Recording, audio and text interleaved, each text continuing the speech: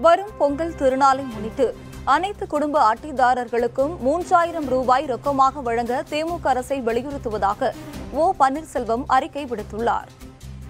பன்னீர்செல்வம் வெளியிட்டுள்ள அறிக்கையில் கடந்த பொங்கல் திருநாளின் போது அனைத்து குடும்ப அட்டைதாரர்களுக்கும் ஆயிரத்து இருநூறு கோடி ரூபாய் மதிப்பில் இருபத்தி ஓரு பொருட்கள் அடங்கிய பொங்கல் தொகுப்புகள் தரமற்றவை எனவும் இருபத்தி ஓரு பொருட்கள் என்பதற்கு பதிலாக பதினைந்து பொருட்கள் மட்டுமே அளிக்கப்பட்டதாகவும் குற்றம் சாட்டியுள்ளார். பெரும்பாலான பொருட்கள் பிற மாநிலங்களிலிருந்து கொள்முதல் செய்யப்பட்டதாகவும் தவறிழைத்த நிறுவனங்களை கருப்பு பட்டியலில் சேர்க்க நடவடிக்கை எடுக்கப்படும் என முதலமைச்சர் அறிவித்தாலும் தவறிழைத்த நிறுவனங்களுக்கு மீண்டும் கொள்முதல் ஆணை வழங்கப்பட்டதே தவிர நடவடிக்கை எடுக்கப்படவில்லை எனவும் பன்னீர்செல்வம் சுட்டிக்காட்டியுள்ளார். எனவே இந்த ஆண்டு பொங்கல் திருவிழாவை முன்னிட்டு அனைத்து குடும்ப அட்டைதாரர்களுக்கும் பொருட்களுக்கு பதிலாக ரொக்கமாக மூன்றாயிரம் ரூபாய் வழங்க வேண்டும் எனவும் இதன் மூலம் முறைகேடுகளுக்கு முற்றுப்புள்ளி வைக்க முடியும் எனவும் ஓ பன்னீர்செல்வம் கேட்டுக் கொண்டுள்ளார்